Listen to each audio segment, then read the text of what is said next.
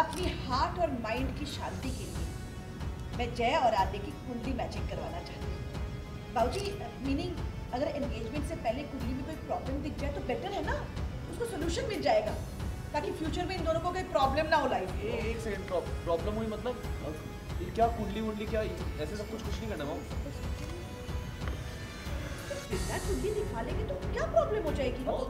तो क्या प्रॉब्लम क्या?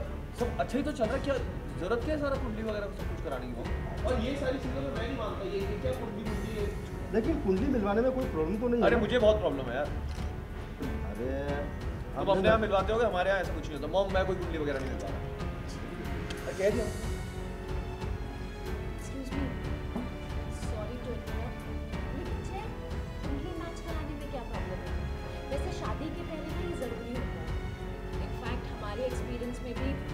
हमारे पंडित जी है मथुरा में। इसलिए तो मैं टेलिंग कर रही हूँ कुंडली की मैचिंग करवा लेते हैं।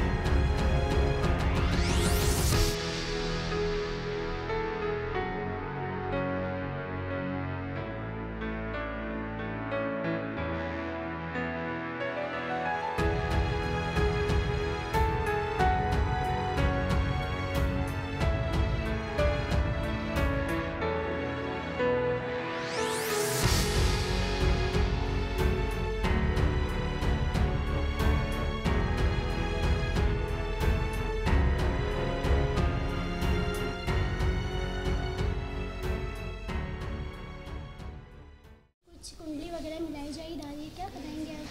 हाँ कुंडली की कुछ घर पे बात चल रही है। अब जय तो बिलीव करता नहीं कुंडली वगैरह पे तो उसको लगता है ये क्या बातें चल रही हैं? और अगर कुछ हो गया तो कुछ कुंडली में हाँ या ना कुछ कुछ भी हो सकता है।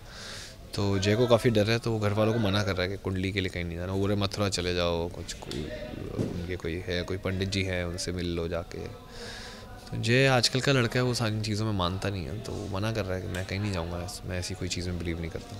लेकिन काफ़ी नाराज़ हो गई हाँ घर वाले तो नाराज़ होते ही हैं जब वो किसी चीज़ पे बिलीव करते हैं और आप ना करो तो उनको लगता ही है कि बच्चों को क्या हो गया आजकल। तो वो नाराज़ हैं। बट जो इंटरनेट वाला अजय है वो सोच रहा है घर पे कुंडलियाँ मिल जाएँगी वहाँ जाने की ज़रूरत क्या जाने बोला तो है जय ने जाएँगे। अब आगे देखना होगा कि जा पाते हैं कि नहीं जा पाते। Thank you